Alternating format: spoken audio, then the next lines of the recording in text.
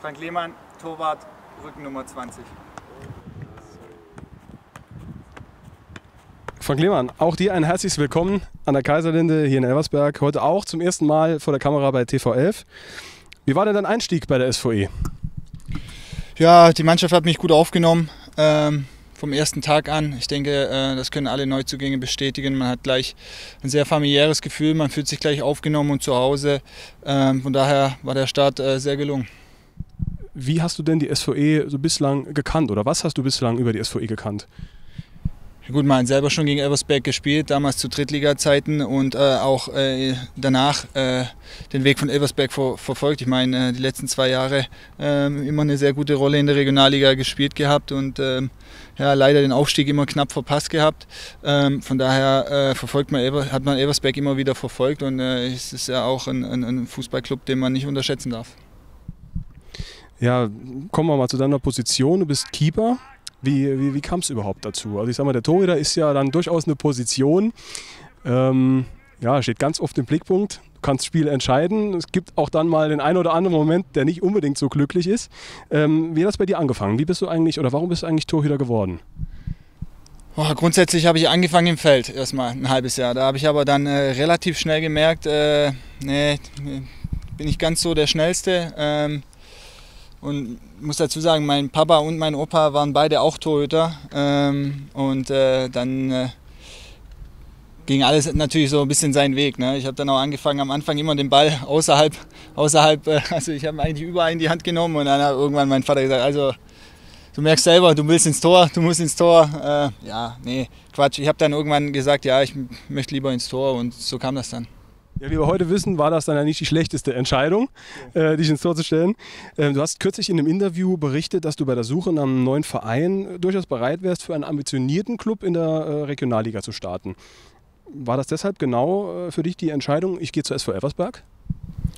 Ja, wie ich ja gerade schon erwähnt habe, Eversberg ist ein, ist ein, sehr guter Verein. Die haben sich einen sehr guten Namen gemacht äh, die, letzten, die letzten Jahre und ähm, ja, das war nicht der, der, allein der ausschlaggebende Punkt. Ich hatte gute Gespräche mit dem Trainer, mit, mit, mit, mit Sascha, mit unserem Torwarttrainer und ähm, ja, da habe ich einfach, einfach das Vertrauen gespürt und, und, und gemerkt, dass sie, dass sie mich haben wollen. Und ähm, das war dann äh, für mich natürlich äh, noch wichtiger zu wissen, ich komme irgendwo hin, wo, wo, wo, man mich schätzt, wo man, wo man weiß, was man an mir hat und, ähm, und ich einfach das Vertrauen auch kriege. Das war mir extremst wichtig, weil ich äh, das so ein bisschen vermisst habe die letzten Jahre.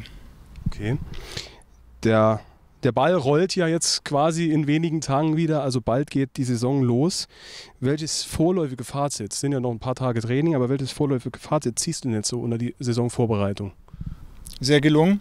Ähm, natürlich haben wir äh, einige neue Spieler, die, die es halt gilt zu integrieren. Ähm, ich denke, unsere Testspiele waren auch alle, alle äh, erfolgreich. Dass äh, manche Dinge noch nicht ganz zu 100% sitzen, ist, ist aber völlig normal. Ähm, aber ja, ich denke, äh, gelungen und ähm, und äh, äh, hat mega viel Spaß gemacht. Aus Trainingslager hatte ich auch schon mal erwähnt. Ähm, wir hatten ein sehr gutes Trainingslager ähm, und auch, äh, wie gesagt, alle Testspiele sind sehr gelungen gewesen. Von daher, ja. Ähm, die, wir hatten jetzt schon mal gehört, ähm, die, die, die Regionalliga Südwest, die gleicht von der Stärke her oder die hat eine Stärke fast schon wie die dritte Liga vielleicht kommende Saison.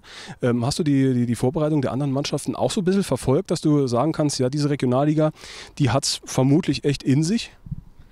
Nee, ich, hab, ich muss ehrlich sagen, ich habe eigentlich äh, andere Sachen habe ich jetzt wenig verfolgt. Ich habe mich hier äh, auf, auf meinen Job konzentriert, äh, mich darauf konzentriert, mich äh, gut in die Mannschaft einzubinden, äh, heimisch zu werden und ähm, andere Dinge habe ich jetzt nicht so groß verfolgt, muss ich ehrlich sagen. Eine letzte Frage. Was können denn die Fans, was können die Zuschauer, die dann in wenigen Tagen hier hinter uns zum ersten Mal dann auch in der neuen Saison zum, zum Spiel kommen dürfen oder zum Spiel kommen möchten, die brennen ja teilweise schon richtig drauf. Äh, was können die denn von, von der SVE erwarten in der neuen Spielzeit?